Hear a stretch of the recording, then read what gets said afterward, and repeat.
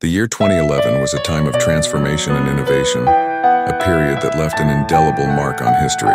This was a year when technology soared to new heights, societal movements gained momentum, and the world experienced profound cultural shifts. With each passing month, 2011 unfolded stories that continue to resonate today.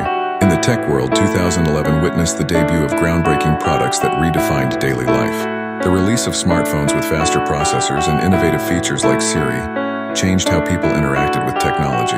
Social media platforms evolved, becoming indispensable tools for communication and information sharing. Meanwhile, cloud computing began to emerge as a game changer, revolutionizing data storage and accessibility. The socio-political landscape was equally dynamic, with movements like the Arab Spring capturing global attention. Citizens across the Middle East and North Africa took to the streets demanding democratic reforms and social justice. These uprisings not only reshaped the political structures in those regions, but also inspired a wave of activism worldwide, echoing the universal desire for freedom and human rights. Thor 1 came out in 2011 and The Adventures of Tintin came out in 2011, and even Captain America the First Avenger came out in 2011. In popular culture, 2011 was a year of memorable moments and iconic releases. The film industry saw the release of blockbusters like Harry Potter and the Deathly Hallows, Part 2, which concluded an era for a generation of fans. Music, too, had its milestones, with chart-topping hits from artists who would go on to define the decade. Fashion trends were bold and experimental, reflecting a world ready to embrace change and innovation. The sporting world also had its share of highlights in 2011, Events like the Rugby World Cup in New Zealand brought nations together, celebrating athleticism and unity.